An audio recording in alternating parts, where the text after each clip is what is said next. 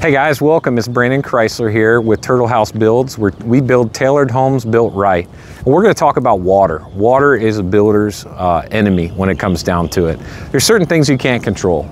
If you take a look at the slope of the yard and how the yard works, the water wants to come down the house in some fashion. And so what we did when we did a site survey is we took a look at where water is going to come, and it's going to come right into this area.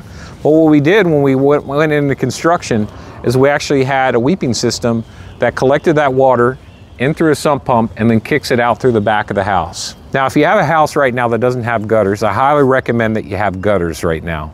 And so what you'll see is we do have an overhang for our gutters, and that's very common in most home builds.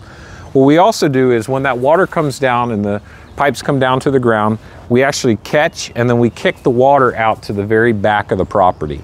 So what we're really trying to do is make sure that water isn't a part of your build because when that water comes in, it gets into your crawl space, that water, that humidity comes into your house, and that's something that we want to try to control. We do that when we get through construction of your house, and um, I think it's something that makes our houses really unique and really special. So thank you again uh, for looking at 2525 Lumina. Please follow our channel if you want to learn more about uh, proper build construction and techniques and um, have a great day. Thank you.